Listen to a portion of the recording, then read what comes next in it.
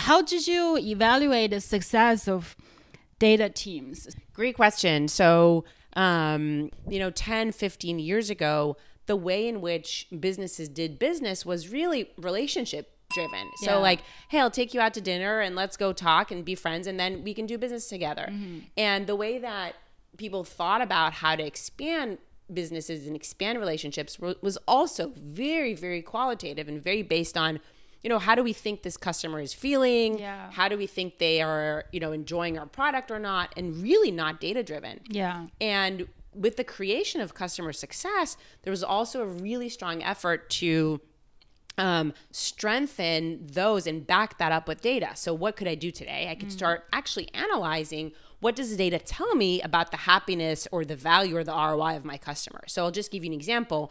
You know, the most obvious is to look at product metrics, right? Like, how often is the customer using the product? Right. But then there's some data that you maybe not have thought about that could tell you a different story about that customer. Like, for example, the number of support tickets that a particular customer is using. Yeah. So the initial analysis, this is just, you know, kind of an anecdote, was that, you know, you might think that, um, you know, a particular how the the customer engages with the support team tells you about you know the the the level of engagement and value. And obviously you know if there's like so many tickets there's maybe i don't know like tens of tickets a day per customer that probably means that this customer is struggling and needs Right. help right? Mm-hmm. But that's not the only sign of distress. What if there's no tickets at all that actually might mean a sign of disengagement. So someone who's totally not working with your uh, with your um, product. So Yeah. what is the right number of tickets per day per customer that indicates a healthy customer,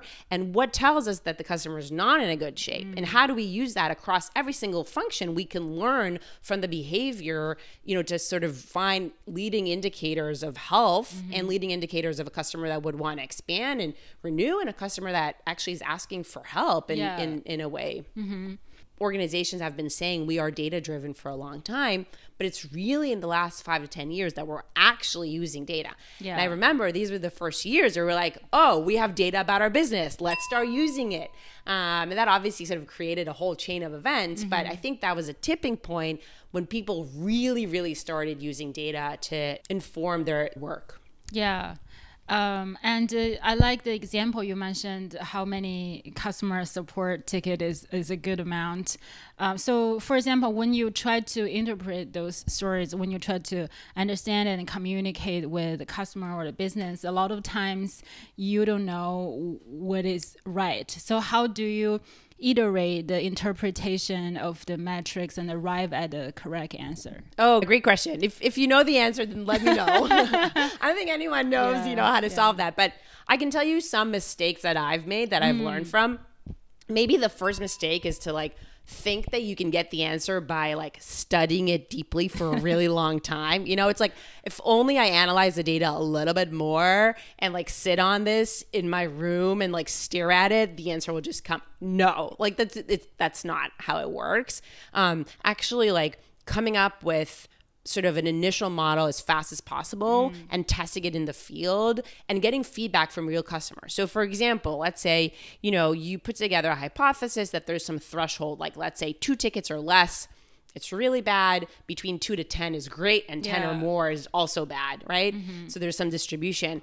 And so the first thing you should do is like go to a customer and like ask like does this resonate with you? Like am i crazy? Is this you know tell me a little bit about this. And then maybe talking to customers from each of those groups right? The disengage and the engage groups and sort of testing that out. And so um, as you know as soon as possible can you get into the hands of real customers like they're sort of like get out of the building and actually test it? Um, the more informed your model the better the better your model will be. Um, i think that's sort of one you know maybe my biggest learning in, in how to get this right so to speak. Um, but also recognizing that it's actually less about getting it right and it, it's you know there's there's like the academic idea of can i get something perfect? Mm-hmm. When actually in reality like people are not perfect and businesses are not perfect but making progress and improving you know if the outcome of that exercise is that you identified you know 100 customers that were struggling and you move them from like the red zone to the yellow zone to the green zone that's a huge win right? Yeah. and so maybe you know your analysis wasn't perfect and your thresholds were not perfect but you actually like made a difference Mm. and made more customers happy using that that's huge right like i'll take that any day over like the alternative i have a hypothesis that like everyone inside is like a recovering perfectionist Mm-hmm. and we all like don't want to screw it up and so we sit on it so much until we think it's perfect Mm-hmm. and i think you know you definitely there's a balance to it right it's definitely like you don't want to put something in front of a customer that's not going to be helpful to them or not mm. represent you well right? I think that makes sense. But also there's this saying like if you haven't if you're not shipping something that you're not embarrassed by then you're kind of shipping too late. I think the most important thing is about you know being frank and honest about that. So you can go to a customer and say like hey this is actually like not done. It's very early thinking. It's very likely wrong in many areas. What i'd love your help on is focusing and narrowing in on, in on what are the things to fix or what are the things that are important to get right. I'll just give you an example from our world actually. So at monte carlo we spend a lot of time on making sure that the data that we are surfacing to our customers is actually valuable. Um, and part of it is um, actually like getting the model right. So making sure that you know um, uh, there's a very low uh, percentage of uh, alerts that are actually like false positives or not meaningful to customers. But over time, what we've learned is that there are additional ways to make data valuable to customers, which is actually understanding which data is owned by which team. So, for example, let's say you know um, a specific person owns the marketing data, they don't care about the, any anything that's related to the financial data. That actually has nothing to do with how we're analyzing the data or modeling it. It has to do with the organization of that business and that process and how the people are working.